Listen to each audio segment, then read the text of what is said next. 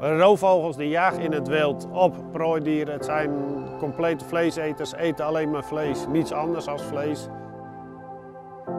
Uh, eendagskuikens is uh, zeker een goed uitgangspunt en een goed basisvoer om aan je roofvogels te voeren. Het is een product dat weinig uh, vetten bevat, veel eiwitten bevat. En een product is wat veilig is, weinig risico's bevat om aan onze vogels. En het is een product wat goed te doseren is. Dus, kortom eigenlijk als basis een uh, zeer goed uitgangspunt voor je roofvogels.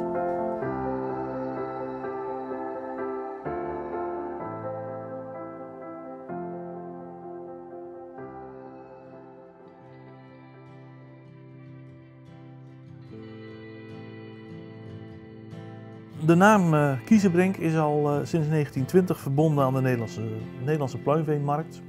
Mijn opa, Harm Kiezenbrink, is in 1920 in Heerde een broeierij begonnen. En ik ben in zijn voetsporen in 1980 ook uh, begonnen als kuikensekser. Een kuikensekser is een, is een specialistisch beroep waarbij mensen kijken naar het geslacht van een, een kuiken. Dus is het een hen of is het een haan? Nou, dat is natuurlijk belangrijk. Want de hennen die gaan eieren leggen en de hanen leggen geen eieren. En dat heeft mij op het idee gebracht van, hé, hey, als ik daar wat mee kan, dan, dan kan ik van een, van een, een bepaalde afvalstroom een upgrade maken naar diervoeding. Dat kan wel eens handel zijn.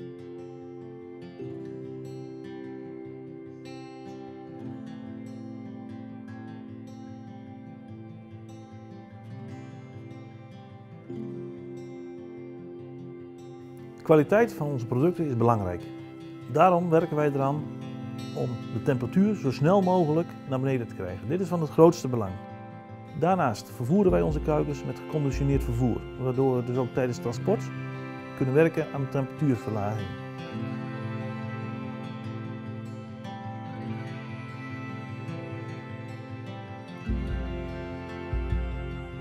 Als de kuikens bij ons arriveren, dan zetten we ze in een speciale plaats waar we A kunnen koelen en B kunnen ventileren.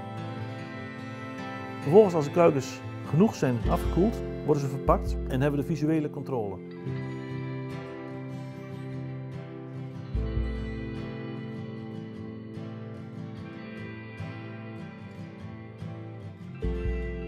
De kuikens worden geplaatst op speciale rekken. Die gaan in onze vriesbunker, waarbij we dus in 24 uur de temperatuur kunnen reduceren naar min 20 in de kern. Hier staat ook dus de, het logsysteem in, zodat we ook altijd kunnen terugzien van hoe is het temperatuurverloop geweest van deze vriessessie. Daarnaast doen we uh, periodiek onze laboratoriumtesten, waarbij we dan steekproeven nemen en de producten uh, gaan testen op kiemgetal, eventueel salmonella, enterokokken, clostridium. Dit alles bij elkaar geeft de garantie dat we de optimale kwaliteit kunnen waarborgen.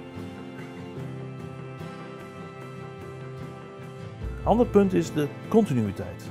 Dat is wel iets wat, wat de komende jaren gaat spelen.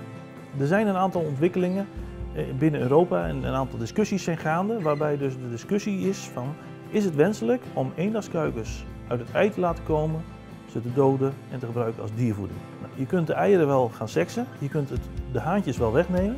Neem niet weg dat de exotische dieren voeding nodig hebben. Dus er zal een alternatief moeten komen in dat geval voor uh, voeding, voor onze roofvogels met name. Nou, als bedrijf ben ik daar ook, uh, ook mee bezig om te kijken van nou, wat voor alternatieven kunnen we bieden. Kunnen we een, uh, een nutritionele samenstelling maken in een ander product die dus het kuiken kan gaan vervangen.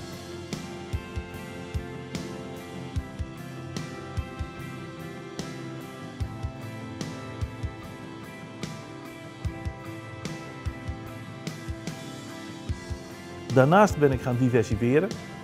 Dus, uh, ik, ik, wilde niet langer al, alleen afhankelijk zijn van, uh, van. Ik ben uh, gaan zoeken naar andere producten en heb ik gevonden in de materie van ratten en muizen.